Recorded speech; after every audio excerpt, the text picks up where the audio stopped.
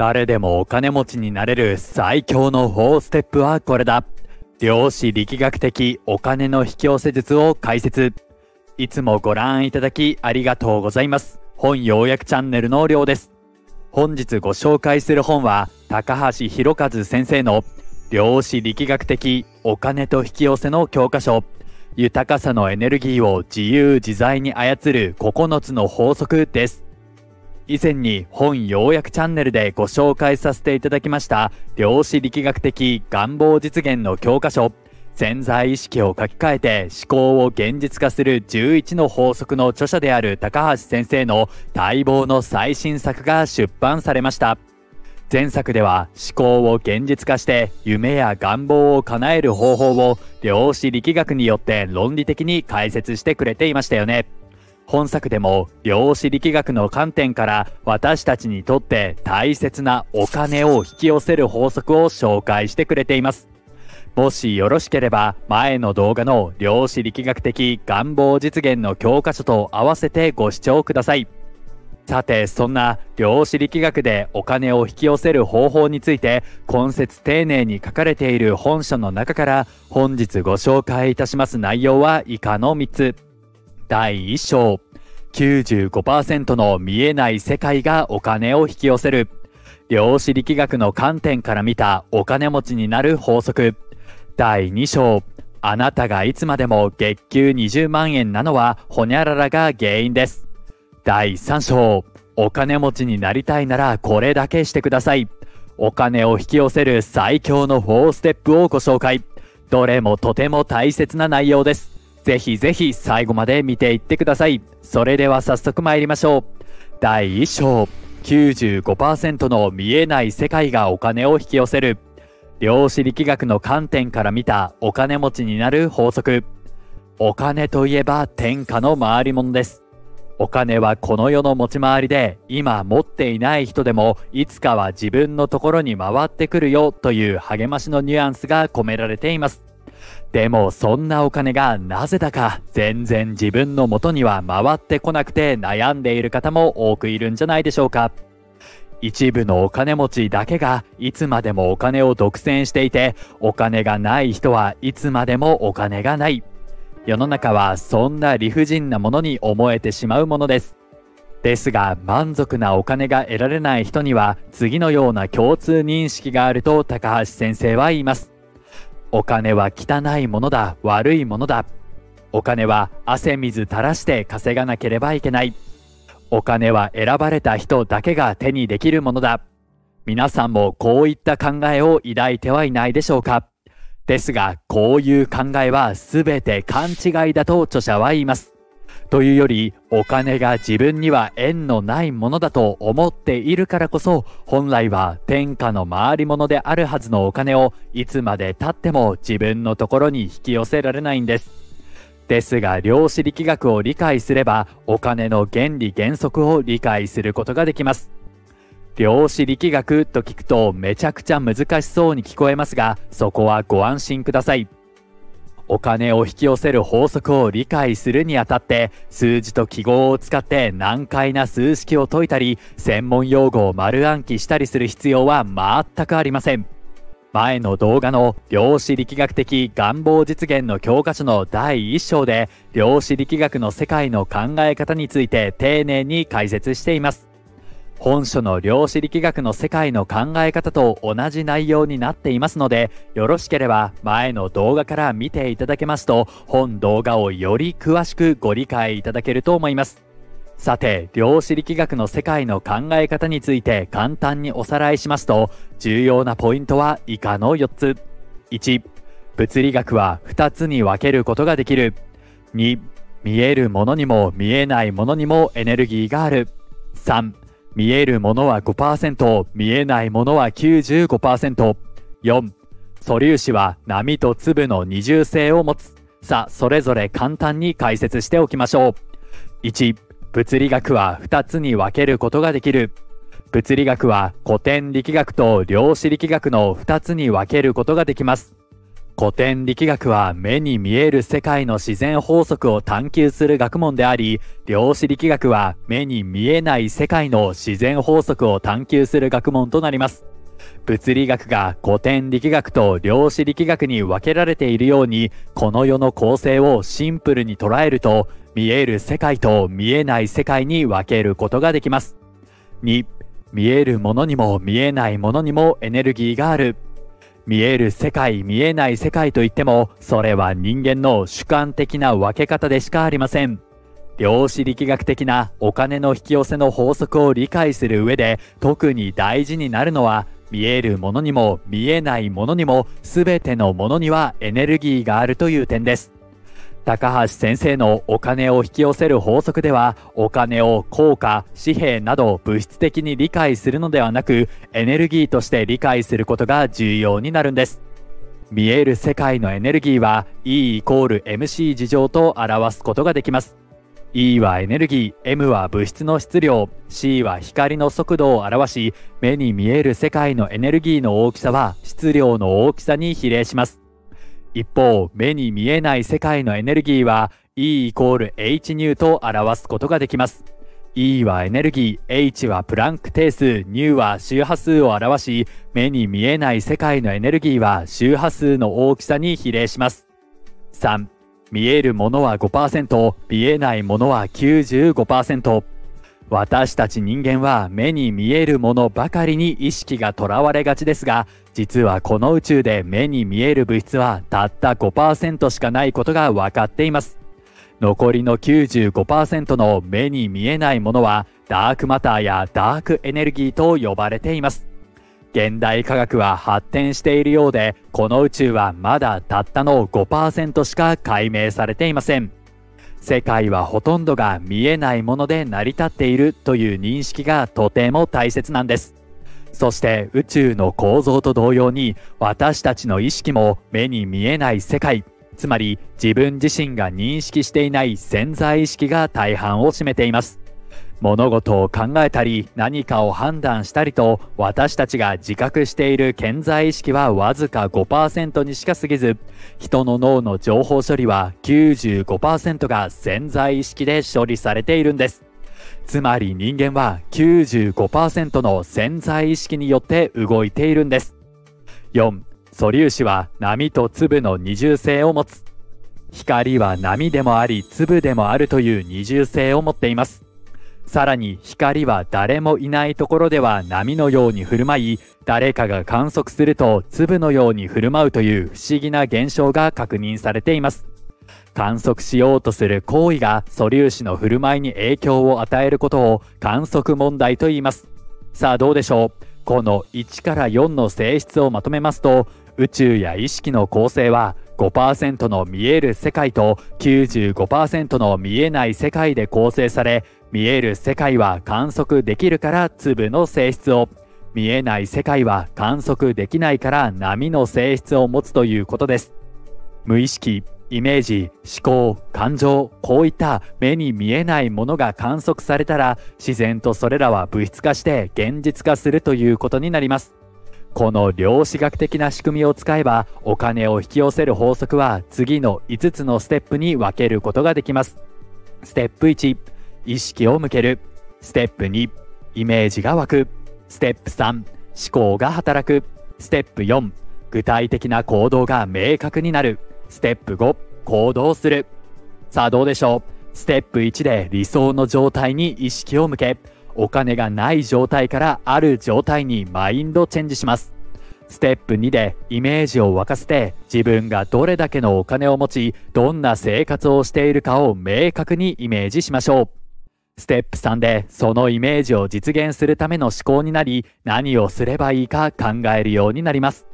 ステップ4では思考が明確になったことで具体的な行動も明確になりやるべきことが見えてきます。そして最後のステップ5では明確になったやるべきことを行動に移すことで現実が理想に近づきお金が引き寄せられるようになります。この5つのプロセスを踏むことであなたもお金を引き寄せられる人になることができるんです。第2章ではその具体的な法則を見ていきましょう。タイトルにもある通り、高橋先生が提唱する法則は9つありますが、本動画では特に重要だと思われる法則を2つピックアップしてご紹介いたします。他の法則も気になっちゃうなという方は、この動画を見終わった後にぜひぜひ本書を手に取って読んでみてください。さあ、ここまで量子力学の考え方について解説いたしました。それでは第1章についてまとめておきましょう。ポイント1。宇宙や意識の構成は5%の見える世界と95%の見えない世界で構成され見える世界は観測できるから粒の性質を見えない世界は観測できないから波の性質を持つ。この波と粒の二重性がお金を引き寄せる法則の重要なポイントとなる。ポイント2無意識。イメージ、思考、感情といった目に見えないものが観測されたら自然とそれらは物質化し現実化する。この量子学的な仕組みを使った5つのプロセスを踏むことでお金を引き寄せる人になることができる。第2章。あなたがいつまでも月給20万円なのはホニャララが原因です。さあ、続いて第2章ではお金とイメージの法則について解説していきます。お金を引き寄せたいと思っても、なかなかお金が集まってこない人はたくさんいます。そういう人たちはお金に対してマイナスのメンタルブロックがあります。メンタルブロックとは人間が何か行動をするときにできない、無理だなどと自分自身の行動に制限や抑制を与えてしまう思考のことです。例えば、お金とは汚いものだ。お金を稼ぐことは良くないことだ。お金を稼いでいる人は悪いことをしている。こういった潜在的なマイナスのイメージがあると、お金に対してマイナスの現実を引き寄せてしまいます。このようなメンタルブロックで有名なエピソードにエレファントシンドロームというものがあります。インドでは象を調教するために小さい頃から丈夫なロープに足を結んで杭につなげて逃げられないようにすると言います。小さな象は最初は逃げようとするんですが、その力ではロープを引きちぎったり、杭を引き抜いたりすることはできません。そのうち小さな象は、あ、逃げようとしても無駄なんだと考えるようになります。すると、その象が大人の象になって、もう余裕で杭をボンと引っ張って逃げ出せる力を持っているにもかかわらず、過去に試したけど無理だったんだよなという思い込みから、やる前から諦めて逃げようともしなくなってしまうというんです。お金を引き寄せたいのに引き寄せられない人の多くは、このエレファントシンドロームにかかってしまっていると高橋先生は言います。人間の5%の健在意識でお金を引き寄せたいと思っていても人間の95%を支配する潜在意識でお金に対するマイナスのイメージがあると圧倒的に支配率が高い潜在意識の方が現実に現れてしまうわけです。人間の場合生まれてから2歳から3歳の間にメンタルブロックが形成され始めて10歳で完成してしまうと言われています。例えば子供の頃に親からお金の話はしてはいけない。汗水垂らして働かないとお金は稼げない。お金を持っている人は汚いなどと言われているとお金に対するマイナスのイメージが潜在意識に刷り込まれてしまいます。また学生時代にアルバイトでお小遣いを稼ぐとか社会人になって毎月の給料をもらい続けていると月に10万円稼ぐのも一苦労自分は月給20万円の価値しかないなどと考えるようになってしまいます。本当はもっと稼げるはずなのに20万円以上稼ぐことができないと自分で自分を縛ってしまうんです。要はイメージや思考というものはすでに現実に現れているんです。ただここで問題になってくるのは95%の潜在的なマイナスのイメージの方が現実に現れてしまっているということです。潜在意識に刷り込まれたメンタルブロックがある限り、お金に対するマイナスの思い込みは消えません。逆に言えば、このメンタルブロックを外してあげれば、自然とお金を引き寄せられるようになります。さあ、ここで登場するのが量子力学です。量子力学がメンタルブロックの外し方のヒントになると高橋先生は言います。大切なポイントは2つ。健在意識はあなたが認識できる意識であり見える意識であること潜在意識はあなたが認識できない意識であり見えない意識であることこの2つを理解した上で潜在意識を自由にコントロールできるようになれば自然とあなたのもとにお金が引き寄せられるようになります。さて、その潜在意識を変えるために、まずはお金持ちとそうでない人たちのお金のイメージの違いを理解しましょう。お金のイメージはざっくりと幸せなお金持ち、不幸なお金持ち、幸せな貧乏人、不幸な貧乏人の4つに分類することができます。豊かさには精神的な豊かさと物質的な豊かさがあり、どちらも満たしていれば幸せなお金持ちになりますし、どちらも欠けていれば不幸な貧乏人となります。縦軸が精神的な豊かさ、横軸が物的な豊かさを示す4つのマトリックスをイメージしてみると分かりやすいかなと思います。不幸な貧乏人、つまり物質的にも精神的にも貧しい人はお金を汚いもの、労働の対価、あまり口にしてはいけないものとイメージしています。つまり根本的にお金が悪いものだとか汚いものというイメージを持ってしまっているんです。幸せな貧乏人、つまり物質的には貧しいけれど精神的には豊かだよという人はお金は欲しいと思わない、興味がない、自分には受け取る価値がないといったイメージを持っています。この2つのタイプに共通するのは、労働収入以外の収入に罪悪感を覚えるという傾向です。その背景には、お金と自分は縁がないとか、お金のことを考えてはいけないという自己肯定感の低さがあります。自己肯定感が低いと、お金を自然と受け取ることができません。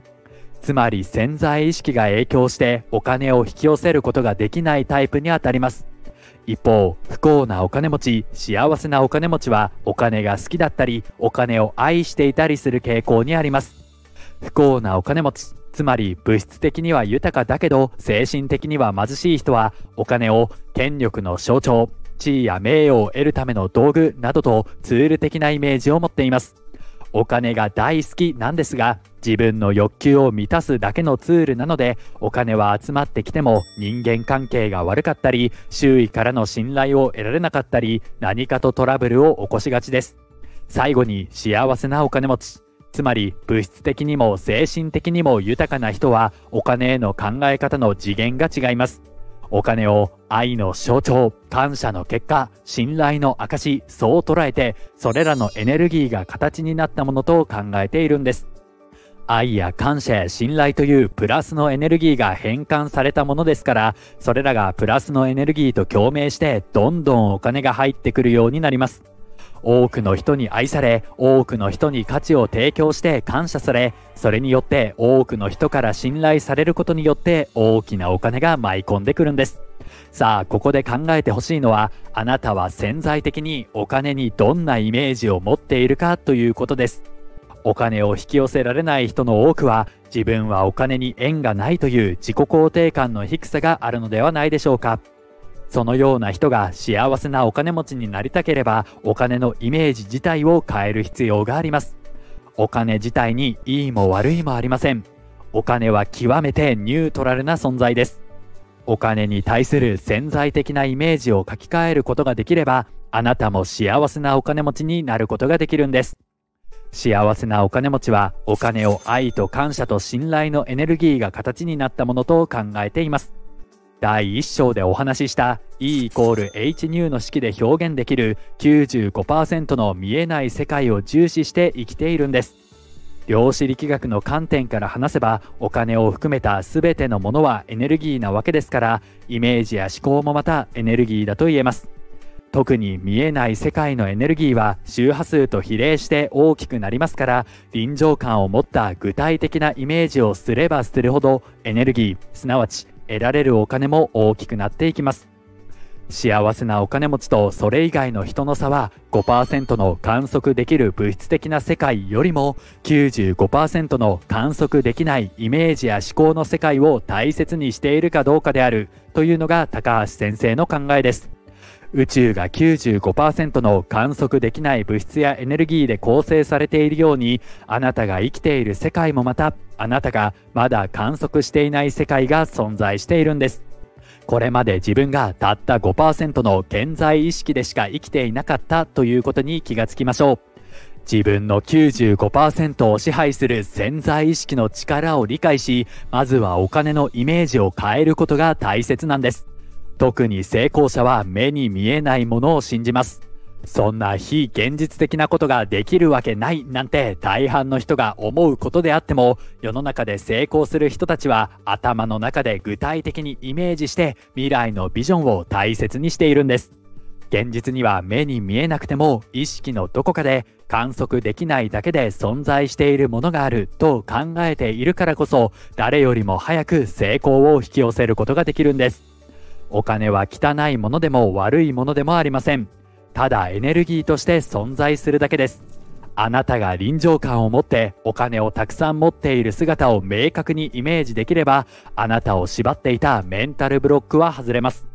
メンタルブロックが外れれば潜在意識も変わり自己肯定感も高まっていくはずです。まずはお金を持っている自分をイメージすることから始めてみましょう。さあいかがでしょうか？ここまで思考を現実化する法則について解説してきました。それでは第2章についてまとめたいと思います。ポイント1。健在意識でお金を引き寄せたいと思っていても人間の95%を支配する潜在意識にお金に対するマイナスのイメージがあると圧倒的に支配率が高い潜在意識の方が現実に現れてしまう。ポイント2。潜在意識に刷り込まれたメンタルブロックがある限りお金に対するマイナスの思い込みは消えない。人間の行動を制限するメンタルブロックを外すことにより自然とお金を引き寄せられるようになる。ポイント3。幸せなお金持ちとそれ以外の人の差は5%の観測できる物質的な世界よりも95%の観測できないイメージや思考の世界を大切にしている点にある。自分の意識の95%を支配する潜在意識の力を理解し、まずはお金のイメージを変えることが大切である。ポイント4臨場感を持ってお金をたくさん持っている姿を明確にイメージできればメンタルブロックを解除することができる。メンタルブロックが外れれば潜在意識も変わり自己肯定感が高まることでお金を引き寄せられるようになる。第3章お金持ちになりたいならこれだけしてください。お金を引き寄せる最強の4ステップをご紹介。さあ続いて本日最後となる第3章ではお金と行動の法則について解説していきます。第2章ではお金とイメージの法則について見てきました。高橋先生が提唱する法則には他にも引き寄せの法則や言霊の法則などがありますが最も大切なのは行動となります。なぜなら行動のみが現実を最速で変える方法だからですいくら頭で考えても行動を変えなければ現実は変わりません。お金を持っている姿を明確にイメージしたら次にあなたが行うのは実際にお金持ちになるための行動をしていくことです。行動を継続していくことで習慣になり現実が変わっていきます。具体的にはお金を引き寄せるためにはお金に愛される必要があります。ではどうすればお金に愛されるような人間になることができるでしょうか？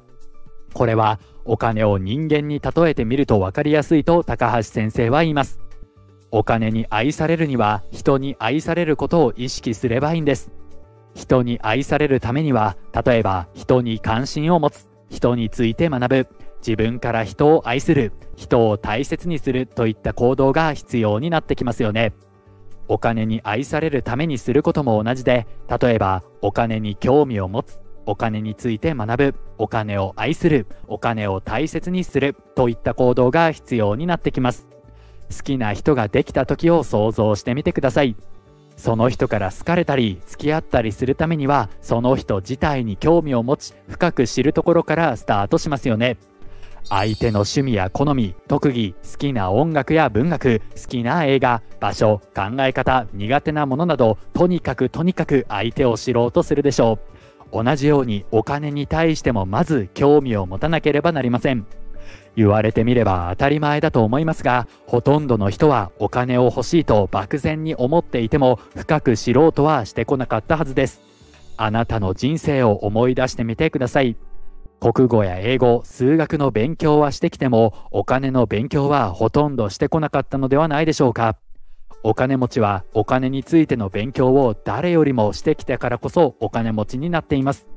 お金に興味を持ち、お金の勉強を続けると、お金の仕組みやお金持ちの考え方を理解できるようになるんです。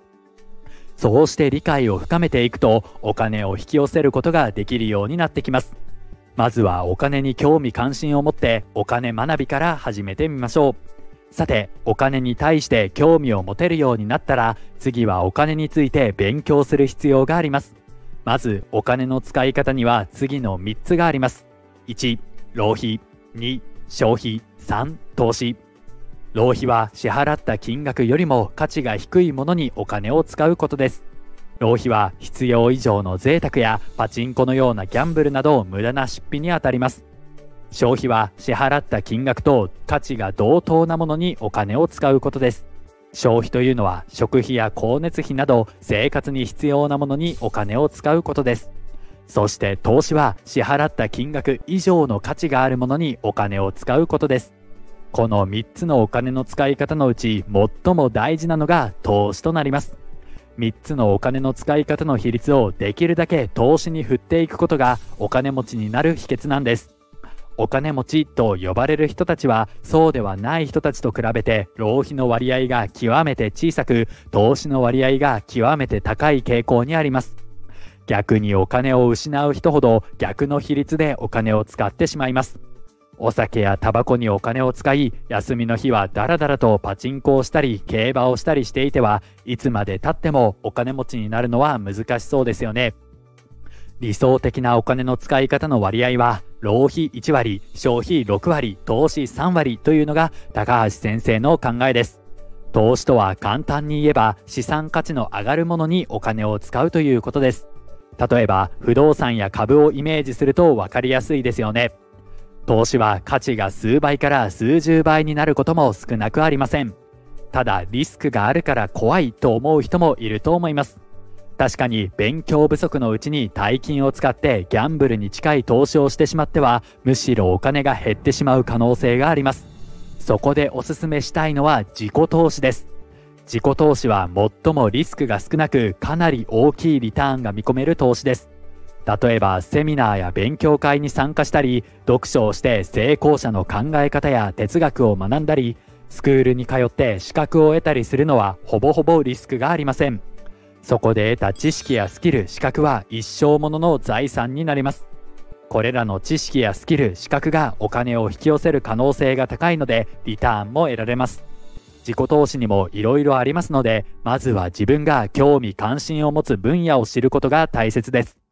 いずれにせよ、そもそもの考え方として、お金の使い方は3つあり、できる限り浪費を減らしていく、投資を増やしていくことが大切だということを理解しておきましょう。消費に関しては、生きていくために必要な食費や光熱費、家賃などの生活費が大半を占めます。例えば、料金が高いスマホのプランを変更するとか、コンビニよりも安いスーパーを利用するなど、もし見直せる部分があれば見直してみましょう。ちなみに世界有数の大富豪である投資家のウォーレン・バフェットは倹約家としても知られています。